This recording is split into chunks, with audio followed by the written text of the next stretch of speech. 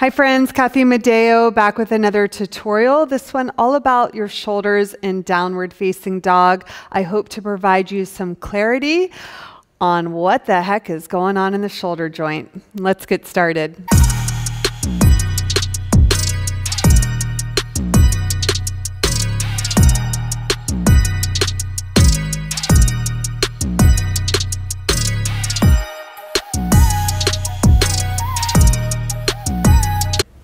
I think part of the confusion with your shoulders and downward facing dog is in part because your shoulder joint is a complex joint. It's also a very mobile joint.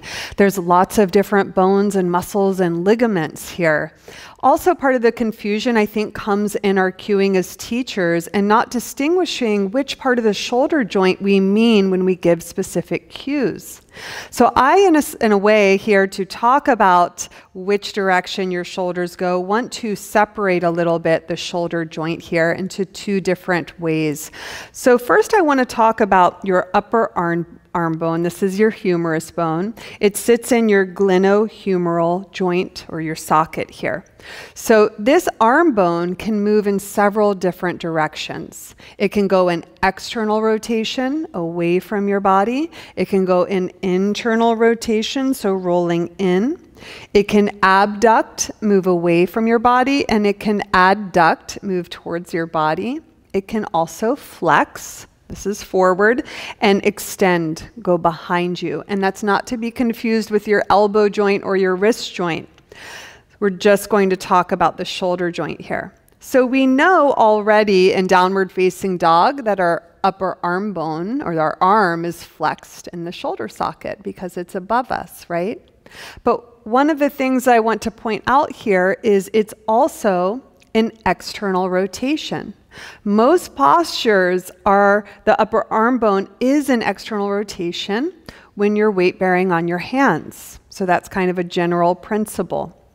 So we can say for sure that in downward facing dog, we want your upper arm bone in external rotation and that the arm is flexed. We don't need to say that because it is so. So when your teacher might say something like roll your shoulders away from your ear, they're not talking about your shoulder blades. They're talking about your upper arm bone. So you want to move the upper arm bone in external rotation in order for it to sit in the shoulder socket and be able to bear the weight on your hands. So now part two, the shoulder blades. So your shoulder blades move in six different directions.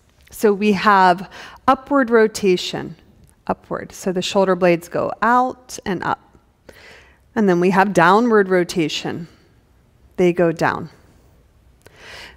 We also have protraction, so the shoulder blades move away from the spine. And retraction, the shoulder blades move in towards the spine. And we have elevation, the shoulders shrug up. And depression, the shoulders go down.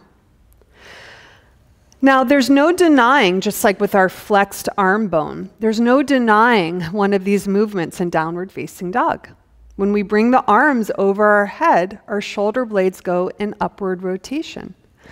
So we don't want to do things to kind of negate that natural movement. I see a lot of students trying to depress their shoulders in downward facing dog or retract their shoulders. I see a lot of students try to squeeze their shoulder blades together in downward facing dog.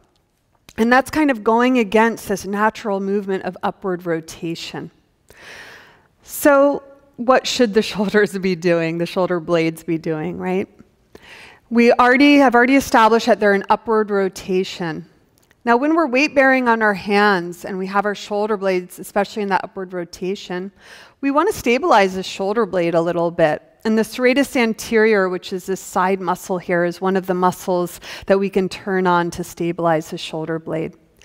And so, in downward facing dog, rather than bringing your shoulders down and depressing them and going against that upward rotation, you actually want to push the floor away a little bit. So, that's a slight elevation. That's going to help stabilize those shoulder blades there on your back. So, let's just look at this. We'll kind of see this in my body here. I'm going to take downward facing dog. I'll show some don'ts first. If our Upper arm bone is an internal rotation. It would look like this. You notice my elbows kind of bend. And that's also starting to bring my shoulder blades into retraction a little bit. So instead, remember, I want to externally rotate my upper arm bones. And then from there, rather than trying to squeeze the shoulder blades in towards the spine, we don't want that, right? We want to externally rotate those upper arm bones and then push the floor away. Those are our shoulders in downward facing dog. I hope separating these two areas of the shoulder joint was useful to you and that you're able to distinguish them in your own downward facing dog. Let me know in the comments if you enjoyed this video.